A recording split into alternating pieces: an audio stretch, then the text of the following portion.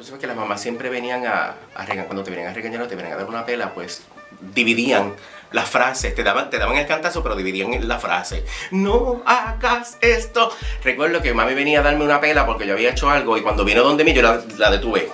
Le dije, no mami, espérate.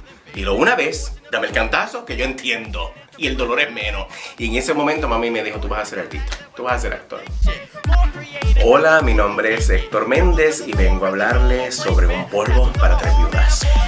Un polvo para tres viudas fue una comedia que yo escribí para el 2000. Lo que pasa es que originalmente se llamaba El Montón de Chago. Esta obra yo la estrené en el Teatro de Atillo y en ese momento el elenco era Alejandro I, Germán O'Neill, Raúl Sánchez, Elicay y Nachalía Chautegui. Y yo, éramos el elenco de ese montón de Chago cuando se estrenó. Bueno, la obra trata de este muchachito, un chamaquito, que se cansó de la, de la televisión enlatada. De las novelas enlatadas, de todo lo que exporta con acento neutral, bien neutral, todo lo que se hace aquí con acento neutral. Y él decide hacer una novela donde el personaje principal se llama Chago. Chago era un millonario que murió porque no se trató el colon y murió de cáncer de colon.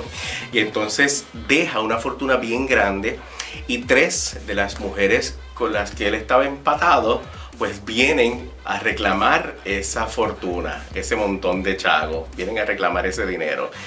Y ahora en Miami pues estamos montando lo mismo, lo único que con un título diferente, se llama Un polvo para tres viudas, pues, ¿por qué? Porque aunque el público de Miami es un público básicamente latino, este, es un poquito más cubano.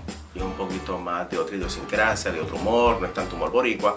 Por eso pues, que la obra pues, se adaptó un poquito para presentarla allá en Miami, que espero que sea tan exitosa como es aquí.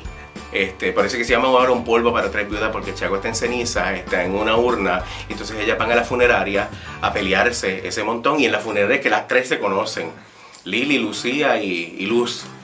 Mira, me inspiré en una vez que fui a un funeral y se formó este salpa afuera porque el muerto tenía un amante y el amante llegó al, al funeral donde estaba esperando este muerto con el hijo bastardo de ese señor. Y se formó esta trifulca entre la esposa y la amante y todo el mundo sacándole, llevándose a, llevándose a la esposa a comer galletitas Ritz con café caliente y chocolate caliente y la amante por otro lado. Y se formó este repertorio que dije, esto está genial para yo formar algo que pase en una funeraria.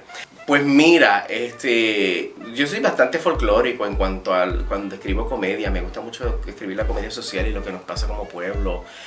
Y recuerdo una vez que estaba montando, se nos trancó el bolo para 1998 y tuve el privilegio de, que Carlos Ferrari la dirigiera en ese momento.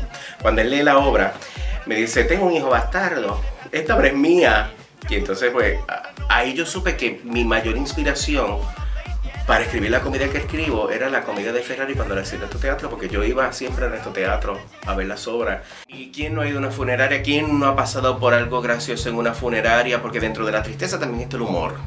Y van a salir bien satisfechos de esta obra porque ya está aprobada, ya es una obra que está aprobada, ya es una obra que, que ha sido un éxito aquí en Puerto Rico y yo sé que va a ser el éxito allá en Miami. La gente va a salir bien complacida viendo esto.